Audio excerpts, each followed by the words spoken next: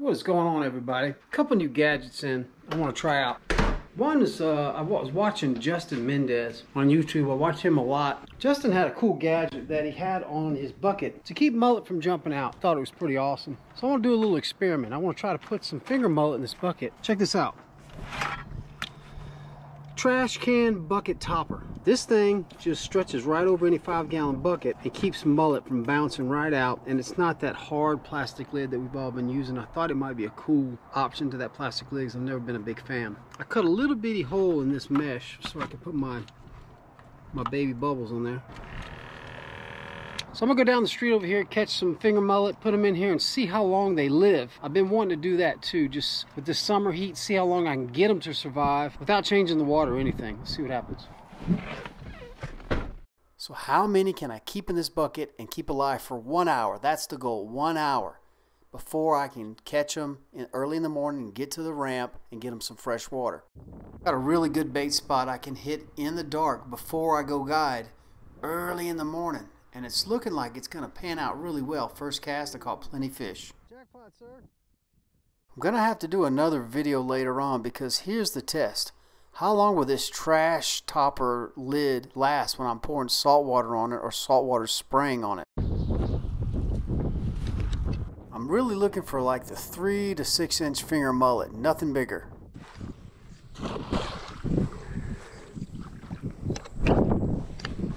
Maybe so.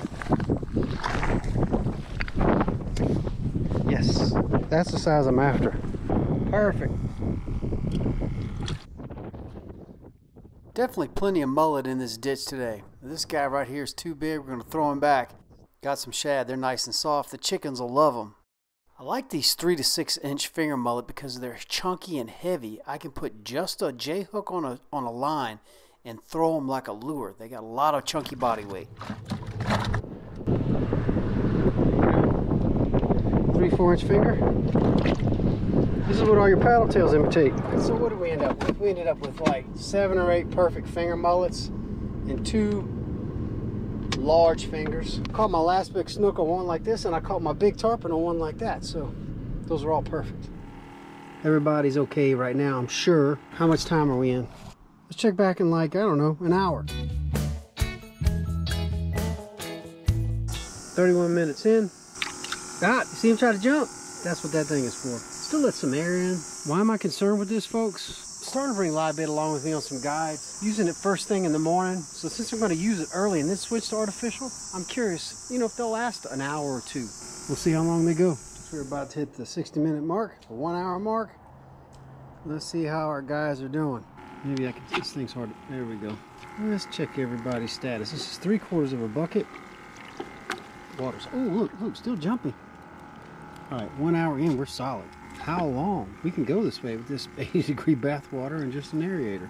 The key here may be that I only have like 10 mullet in here. It's a tight fit. I wish they had like a drawstring. Almost at two hours. Whoa, and I just heard one jump. This trash can bucket topper is still working. One just took a jump. Water's hot. Nobody's dead. This is a lot. Look, man, that's awesome, dude.